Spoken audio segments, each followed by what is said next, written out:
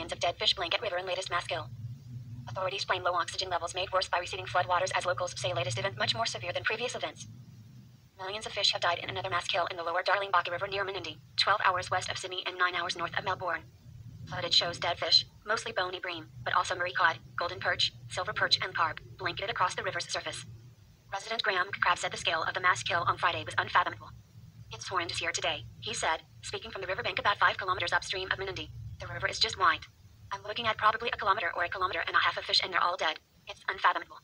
A department spokesperson said the deaths were due to low oxygen levels in the water as floodwaters receded.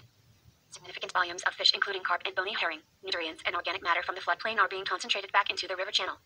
The current hot weather in the region is also exacerbating hypoxia, as warmer water holds less oxygen than cold water and fish have higher oxygen needs at warmer temperatures, the spokesperson said. This event is ongoing as a heat wave across western NSW continues to put further stress on a system that has experienced extreme conditions from wide-scale flooding. The spokesperson said the bony bream population typically booms and busts over time. It booms in population numbers during flood times and can then experience significant mortalities, or busts, when flows return to more normal levels. Jeff Looney, a photographer from Menindee, said the latest mass kill was much more severe than the fish deaths earlier this year. This time there's hardly live fish out there, he said. Crabb said the fish would have washed through to Menindee by Saturday.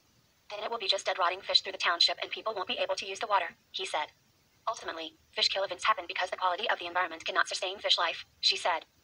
It is important to remember that fish kill events impact not only the large body fish like the Murray cod and bony bream, but also the small body fish like the gudgeons that are essential to maintaining a healthy aquatic ecosystem. Associate Professor Joy Becker from the University of Sydney School of Life and Environmental Sciences. The independent MP Justin Field said we are living in the age of climate change, with increasingly extreme floods and droughts being compounded by poor government decisions.